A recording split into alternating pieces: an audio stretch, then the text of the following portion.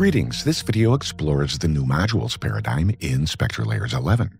The user interface has been redesigned specifically to accommodate the ever-increasing number of available processes. The new modules pull-down menu replaces the unmix and process menus in the previous edition.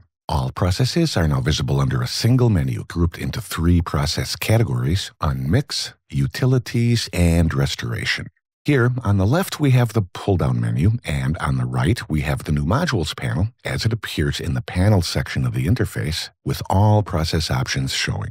Now, you may have noticed this other item at the top of the Modules menu pull-down. This is the Modules chain module. It can be accessed in the Modules panel, and it's a key feature of the Modules paradigm new in SpectraLayers 11. Keep watching. We'll discuss this module and Modules chains in detail in a moment. In the meantime, here I have a song loaded in SpectraLayers for unmixing. Take a look at this time-compressed example of a typical song unmixing session that uses four unique AI-assisted SpectraLayers unmix processes.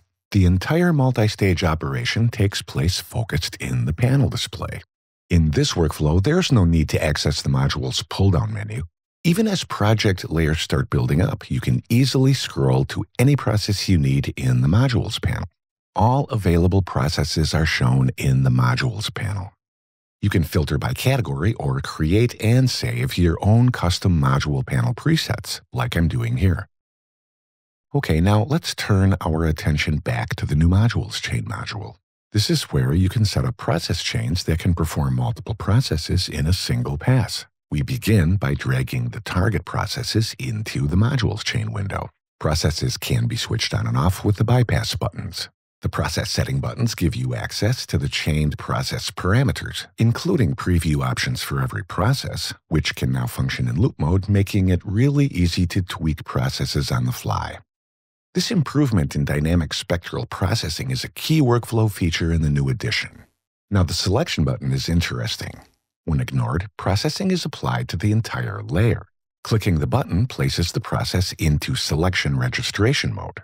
Selections get stored and then processed when the chain is applied.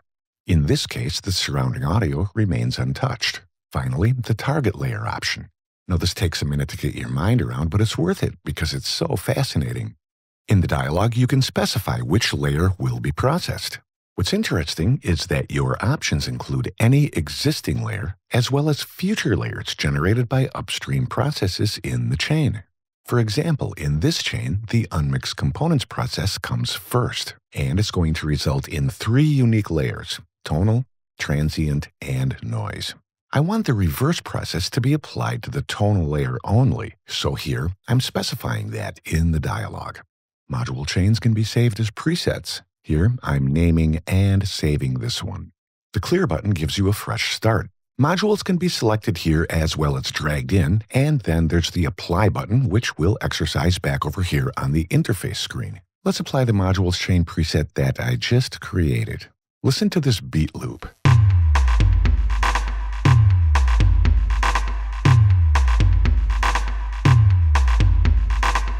Here, I'm selecting the Modules chain module, calling up my preset, registering the selection, and applying the process.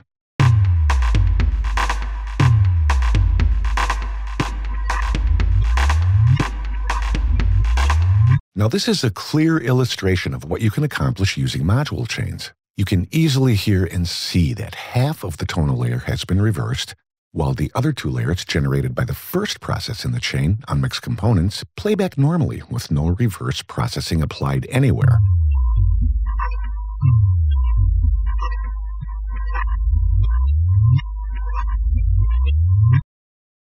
This level of stratified, highly targeted processing will be a welcome addition to your workflow in purely creative sound design like we've done here today, and for streamlined repair and restoration work, especially when used in conjunction with batch processing and all the other new features and improvements in SpectraLayers 11. We hope you enjoyed this video. SpectraLayers delivers state-of-the-art spectral processing for editors in every field Subscribe to the Steinberg YouTube channel and learn more about how you can leverage this application in your production workflow.